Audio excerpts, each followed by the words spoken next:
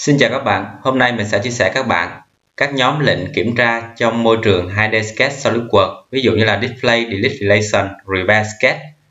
Và những cái nhóm lệnh phát thảo nhanh như là Rapid Sketch hay là thay đổi kích thước nhanh chóng như là intent 2D và một vài lệnh như là Move Entity, Copy Entity, Rotate, Scale và Stretch Entity. Đầu tiên mình sẽ hướng dẫn các bạn là intent 2D à, khi Intent 2D được bật các bạn có thể là tắt bật nhanh chóng bằng cách click vào biểu tượng ha. Khi mà bật Intent 2D thì khi các bạn phát thảo và có một cái kích thước nào đó thì bạn click vào kích thước thì đầu kích thước nó sẽ có cái biểu tượng là chấm tròn màu xanh. Và các bạn có thể là click đà chiều trái vào chấm tròn này và thay đổi linh động kích thước à, một cách nhanh chóng. À, các bạn có thể là nhập trực tiếp để sửa kích thước chính xác hoặc là thay đổi linh động để xem cái mô hình cái cấu trúc của mình thay đổi như thế nào ha? Thì đó là Instant 2D à, nếu mà Instant 2D được bật ha? À, thì các bạn lưu ý Instant 2D tiếp theo là nhóm lệnh Display Delete Relation. À, ẩn hiện những cái ràng buộc à, của các bạn hoặc là Add Relation Fully Defined Sketch. Ở đây khi các bạn muốn ẩn hiện hoặc là xem xét để xóa những cái ràng buộc các bạn có ở trong cái môi trường 2D Sketch của mình thì đầu tiên các bạn sẽ chọn cái đối tượng mà các bạn à, muốn ẩn hiện hiện những cái à, ràng buộc ra ha thì các bạn chọn đối tượng này. Sau đó vào lệnh display delete relation thì nó sẽ hiện ra. À, hiện ra thì cái line này nó có một cái horizontal. À, các bạn có thể là delete ha, delete hoặc là chọn đối tượng khác để các bạn kiểm tra. À, thì thao tác này nó ít dùng tại vì khi mà các bạn chọn đối tượng à, trên vùng đồ họa ha thì nó sẽ hiện ra luôn. À, cái những cái ràng buộc liên quan hiện ra luôn những cái ràng buộc liên quan à, cho các bạn xử lý luôn ha. Tương tự như vậy, khi các bạn chọn lệnh Add Relation là các bạn muốn gắn ràng buộc cho đối tượng nào đó thì trước đây à, mình thường thao tác nhanh đó là chọn đối tượng và chọn luôn ràng buộc, chọn luôn ràng buộc Add Relation ở bên này à, thì nó cực kỳ nhanh à, hoặc một, một cách khác các bạn có thể là vào lệnh Add Relation sau đó chọn đối tượng để nó hiện ra những cái ràng buộc cho các bạn chọn ha. À, thì đó là có nhiều cách nhiều hướng đi cho các bạn ha. Tiếp theo là nhóm lệnh Fully Defined Sketch. Fully Defined Sketch chỉ xuất hiện khi mà các bạn à, có một cái đối tượng nó chưa fully defined à, vẫn còn under defined dưới này ha. Đối tượng còn màu xanh này. À, ví dụ mình bỏ đường này bỏ luôn được kích thước bỏ luôn được kích thước. Khi có đối tượng màu xanh thì cái lệnh fully defined sketch sẽ xuất hiện. Khi các bạn click chọn lệnh ha à, thì nó sẽ hỏi là muốn đối tượng nào nè mình có thể là quét chọn hình chữ nhật này ha. Và mình bấm calculate à, nó có thể là tự thêm relation tự thêm kích thước cho các bạn nè. À, tính từ voi góc tọa độ ra tính từ voi góc tọa độ ra này ha, các bạn sẽ bấm calculate phần mềm sẽ tự động lên kích thước cho các bạn để đảm bảo cái hình của các bạn là fully defined. À, thì đó là lệnh fully defined sketch ha. Tiếp theo mình sẽ đến nhóm lệnh của nhóm lệnh mu entity. Cái này thì nó khá giống bên môi trường AutoCAD 2D rough size các bạn ha. À, đầu tiên là nhóm lệnh mu này. Các bạn có thể là quét chọn đối tượng trước sau đó thực hiện nhóm lệnh mu à, thì có thể mình mu tới cái điểm nào tọa độ xy là bao nhiêu hoặc là from to ha rom to uh, à, boy mình list boy này mình di chuyển tới đây chẳng hạn. À, thì đó rom to à, cho nó nhanh ha. À, hoặc bạn quét chọn đối tượng vào lệnh tiếp theo lệnh copy. À, lệnh copy ha. Mình tương tự như vậy mình vẫn chọn là rom to cho nhanh ha. Copy từ à, điểm bắt điểm này qua tới đây. À, copy ra một hình. À, tương tự như vậy quét chọn ha. Nhóm lệnh rotate. À, rotate.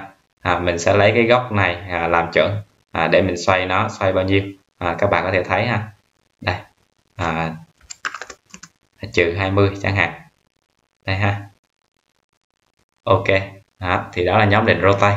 À, hoặc tiếp theo. Lệnh scale. À, lệnh scale các bạn tương tự như vậy lấy góc làm chuẩn và scale nó lên. À, bao nhiêu?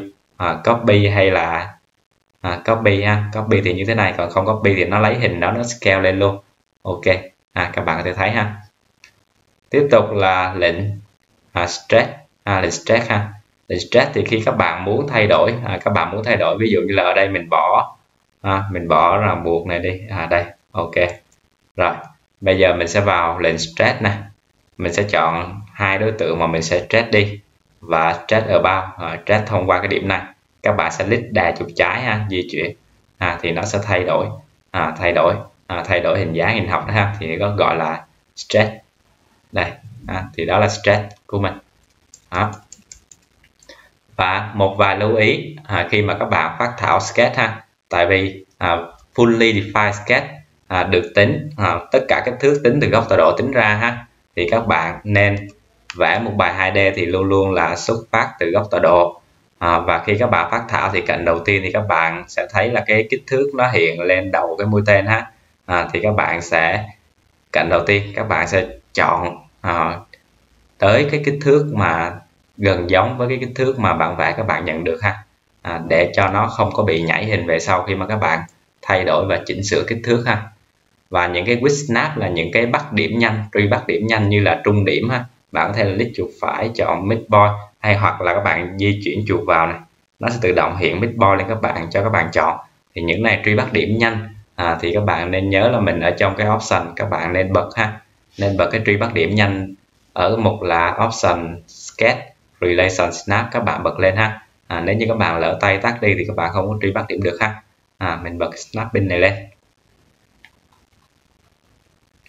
À, Rabbit Sketch. À, Rabbit Sketch ừ, chẳng hạn như là à, các bạn thao tác nhanh ha. Ví dụ như là ở đây thì nó sẽ liên quan tới 3D một xíu.